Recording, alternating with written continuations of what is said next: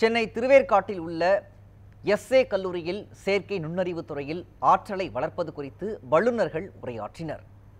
Chennai Thiruverkadu S A கல்லூரியில் செயற்கை நுண்ணறிவு சார்ந்து ஆற்றலை வளர்த்தலும் அறிவுத்திறனை பரிமாறுதலும் என்னும் பெருநுண்மையில் பன்னாட்டு கருத்தரங்கம் நடைபெற்றது.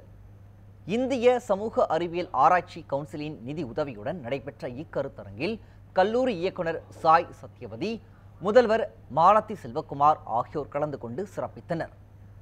இந்திய சமூக அறிவியல் ஆராய்ச்சி கவுன்சில் இயக்குனர் சுதாகர் ரெட்டி சிறப்புரையாற்றி கருத்தரங்கை தொடங்கி வைத்தார்.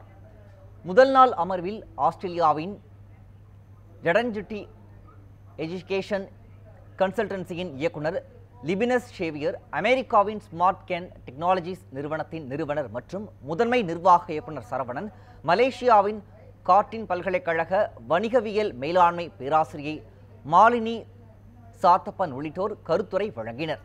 இரண்டாம் நாள் அமர்வில் அமெரிக்காவின் நெக்ஸ்ட் ஜென் தெரபிஸ்டுகள் நிறுவனத்தின் நிறுவனர் ஜி. ராமச்சந்திர ரெட்டி பல்கலைக்கழக மானியக் குழுவின் மேனாள் ஆராய்ச்சி ஆலோசகர் ஆனந்த் ராம் உள்ளிட்டோர் பங்கேற்றுள்ளனர்.